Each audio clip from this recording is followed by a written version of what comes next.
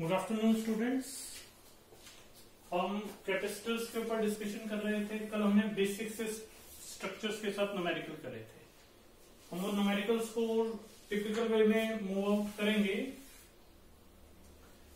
आज हम डिस्कस कर रहे हैं energy stored in a capacitor energy stored energy find out करनी है भी कैपेसिटर में कितनी स्टोर हो रही है। सबसे पहला वर्ड है energy energy is a form of work done हम सब जानते हैं। और दूसरी चीज़ कैपेसिटर में चार्ज की स्टोरेज करवाते हैं। तो चार्ज से रिलेशन है। दोनों पॉइंट हो गए। भाई वर्क डन भी है चार्ज की स्टोरेज भी है। और चार्ज कब स्टोर होता है? स्टार्टिंग में बताया था। भैया, जब आप इस पर पोटेंशियल अप्लाई करोगे। तभी तो चार्ज स्टोर होगा। तो अब देखो।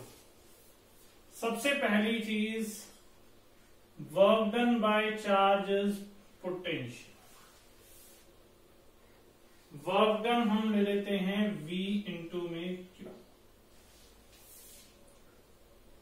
डिस्कस कर चुके हैं हम ये फॉर्मूला टेंथ में भी डिस्कस किया हुआ है, अभी भी डिस्कस किया है। अगर मैं इस W की जगह small amount of work done ले लेता हूँ d W V dot d Q भाई पोटेंशियल तो पूरा ही अप्लाई करना पड़ेगा। छोटा सा चार्ज मूव करवाना है तो थोड़ा सा वर्क डन चाहिए डी डब्ल्यू क्लियर है? फ़र्स्ट इक्वेशन राइट डाउन कर लेते हैं इसको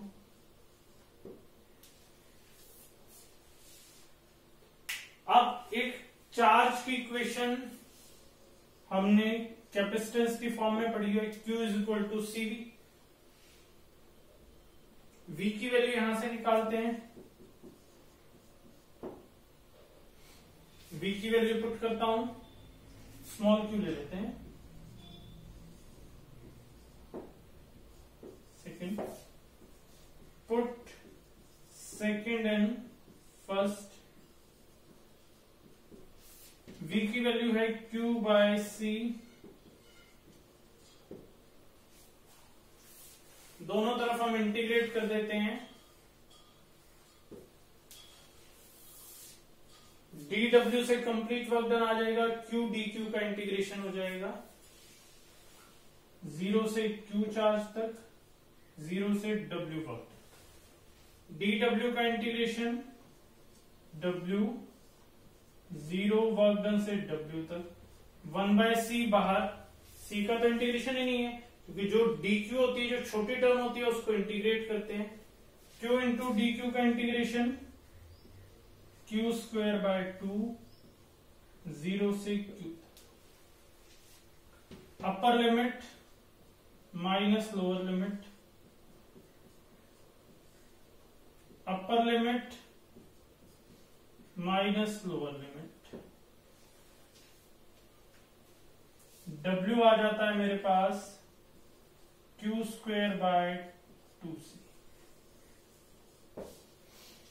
Q is equal to C भी है. एक और फॉर्मूला भी बना सकते हैं हम. C square B square by two C C से सी कैंसिल तो वर्कडन का एक और फॉर्मूला बन सकता है. Half C V square note down करेंगे। इस पर एक छोटा सा क्वेश्चन चेक और करेंगे। देखो, एक क्वेश्चन चेक करते हैं। कहता है calculate the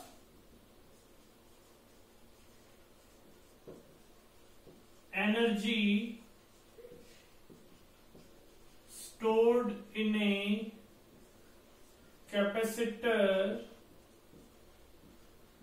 having capacitance 200 picofarad and connected to 200 volt supply potential दे दिया कैपेसिटेंस दे दी सी 200 पिको फैरेड है पिको को 10 to power minus twelve farad potential कितना है? 200 वोल्ट एनर्जी स्टोर्ड निकालते हैं हाफ़ सीरीज़ ये चीज़ ध्यान रखना पीको फेरेड आ जाए माइक्रो फेरेड आ जाए नैनो फेरेड आ जाए, इसको आपने फेरेड में चेंज करना ज़रूरी है मैंडेटरी है। Half C is 200 hundred into ten to power minus twelve V square two hundred into two hundred hundred four into ten to power to four six